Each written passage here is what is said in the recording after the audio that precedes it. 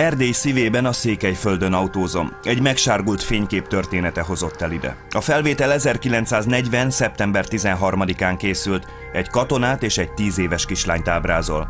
Íme a fénykép szívszorító titka. Csíkszeredában vagyunk Hargita megye megyeszékhelyén. A 40 ezres várost döntő többségében magyarok lakják. Csíkszeredának legendás a jéghoki csapata, de onnan is ismerik, hogy ez Románia egyik leghidegebb városa. Itt ebben a tömbházban él filmem egyik főszereplője, Szabó Miklósné Hankó Ibolya, aki egy réges-régi őszi napon egy kicsit a magyar történelem része lett. Jöjjön egy kis multidézés. A dátum 1920. június 4-e a történelmi igazságtalanság napja, Magyarország megcsonkítása.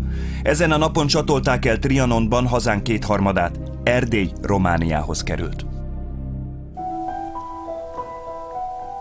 Itt született Hankó Ibolya, aki tüneményesen szép kislány volt, és aki az iskolában kitűnő tanuló lett. Imádta a magyar irodalmat, a versek voltak a kedvencei és még pár történelmi kép immár 1940-ből. A második bécsi döntés értelmében ekkor került vissza Magyarországhoz Észak-Erdély.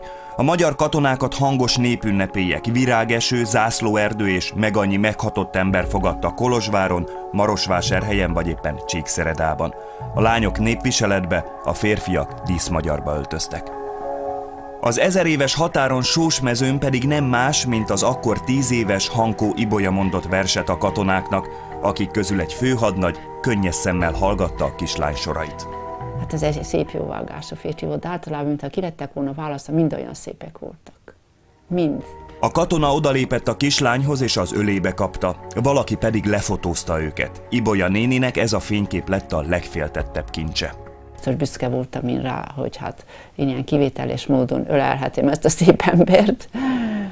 És hát nagy megható volt, mert azért is, hogy az ezer éves határon voltunk, azért is, mert egy magyar katona ölébe voltam, és azért is, hogy elismerte, hogy tetszett a vers neki, amit szavaltam.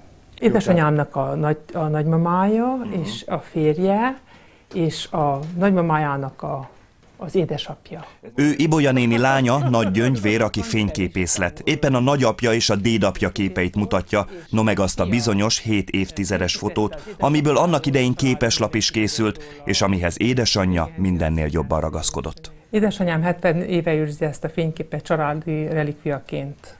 És ez fontosabb fénykép neki, mint a többi fénykép? Igen, igen, nagyon-nagyon fontos.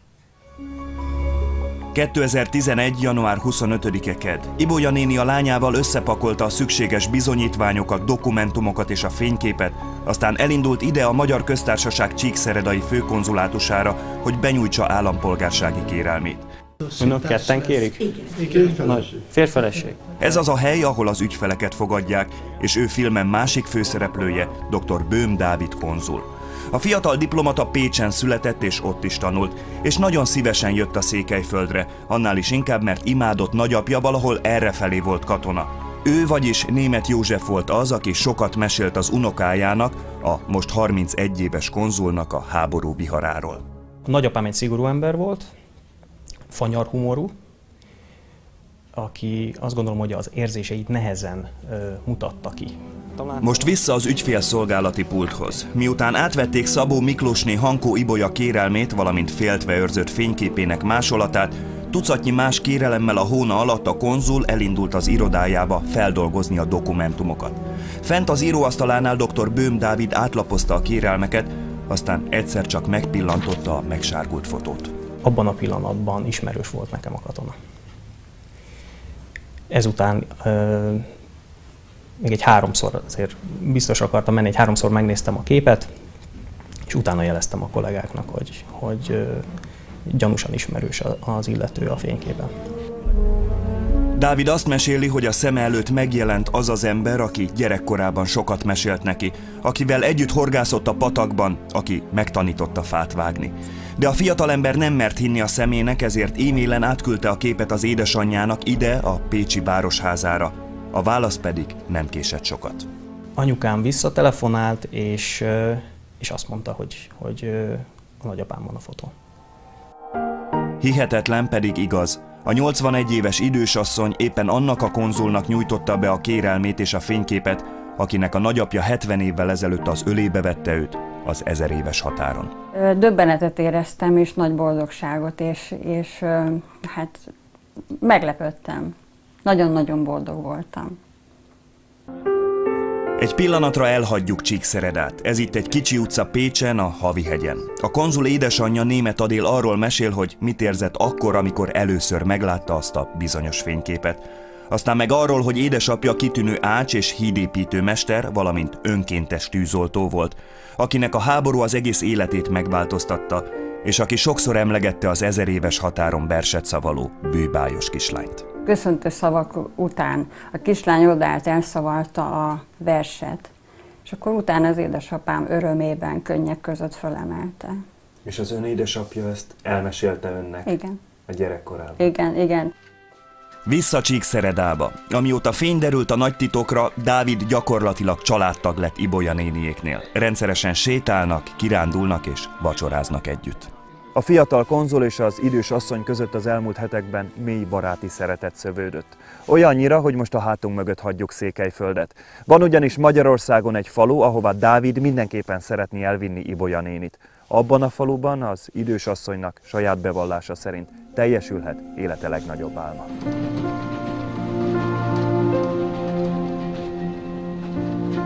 Hosszú a vonatút Budapestig. Két utitársam végig egymással beszélget. Jó látni őket, így meghitt barátságban. Másnap Dávid megmutatja Ibolya nénének a munkahelyét, vagyis a külügyminisztériumot, aztán elsétálnak a parlamentig. A Matenzi partjára. Ott ásták egy benzines hordónak a tetejét levették és odarakták bele. Itt hamar kiderül, hogy szinte nincs olyan dolog, amit az idős székely asszony ne tudna a Szent Koronáról. Két önfeledten boldog embert fotózhattam itt, az országgyűlésben.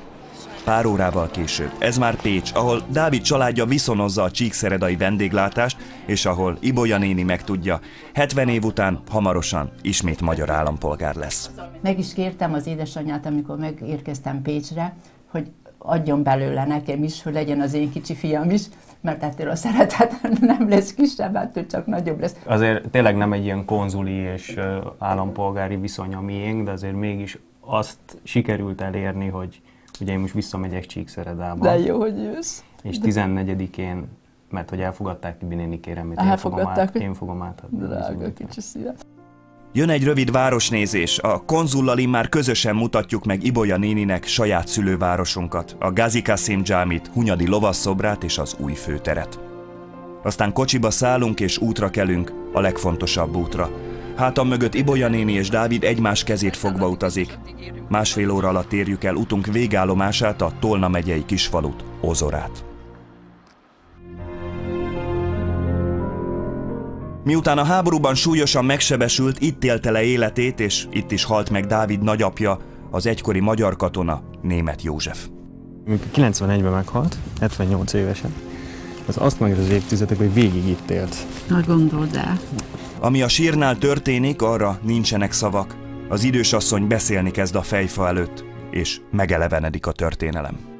Édes Józsikám, nem hiszem, hogy itt vagyunk és tudom, hogy odafenn imádkoztat ki, hogy megismerjem ezt a drága unokádat. Eltelt 70 esztendő, az életem java, és mégis megadatott az, hogy itt lehetek. De amikor én fogtam a te nem gondoltam, hogy annyi vihar éri ezt a székely népet. Megrendülten állunk a kis falu temetőjében. Hankó Ibolya fejfa előtt újra elmondja azt a verset, amit hét évtizeddel ezelőtt az ezer éves határon sós mezőn szavalt.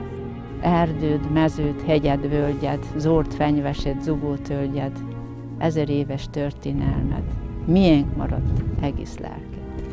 Aztán elmond egy imát is az egykori katonáért, közben Bőm Dávid csöndben nyeli könnyeit saját nagyapja sírjánál. Tehát abban a pillanatban, amikor átadom az állampolgársági okiratot, akkor nem is fogom magamat konzulnak tekinteni, hanem tényleg mint egy családtag, vagy mint az unokája. Feltetőleg könnyek között adom át ezt a bizonyítványt. úgyhogy mindenképpen más lesz.